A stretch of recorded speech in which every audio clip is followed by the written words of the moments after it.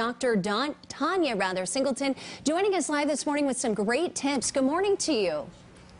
Good morning, Melissa. Thank you so much for having me. I'm very excited to be here this morning to talk to you about my five tips for picking a good walking shoe. Okay, so what, what would you recommend is the biggest tip, or what should you be looking for in a walking shoe? So what people are looking for, you know, there's not just one shoe that's going to fit right for everyone, but if you have more of a flat foot, um, you're going to want to pick a shoe that's more stiff and supportive. If you have a bit of a more high arch, you're going to need a little bit of more shock absorption in your shoe. And do you recommend actually going to a place to get, I know like feet, Fleet Feet, for example, they'll look at your walk, they'll look at your stride to pinpoint the right shoe that might be right for you? Absolutely. You know, if you go to one of those um, types of shoe stores, you're definitely going to have more knowledgeable staff who can assist you. Uh, but you definitely don't need to spend a lot of money to find a good walking shoe. Um, you really just need to know what's good for your foot, what's comfortable.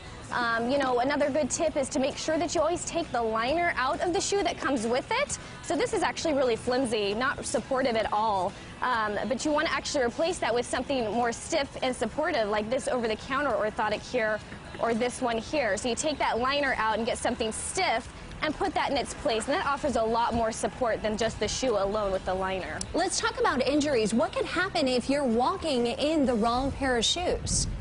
Absolutely. Prevention is key. Um, you know, wearing a good walking shoe will prevent a lot of overuse injuries, so tendonitis, plantar fasciitis, stress fractures.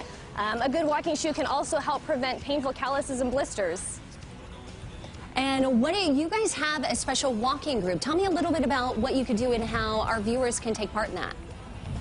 Absolutely. Thanks so much for asking. So uh, over the past four years in the greater Sacramento area, um, over 10,000 people in our community have actually signed up for our, the Kaiser Permanente Walking Club. So the next one is actually starting uh, this Wednesday in the South Sacramento area. You can meet up with one of our physicians at 8.30 in the morning um, in the Meadowview area. It's at the Sam and Bonnie Pannell uh, Community Center uh, for a two-mile walk with a physician. And uh, you can walk with them and ask them questions about your health. We're very excited about it and hope to see everybody there. One last question. What are the health benefits of just getting out and walking? It seems so simple, but 30 minutes really can make a difference for your health. Is that right?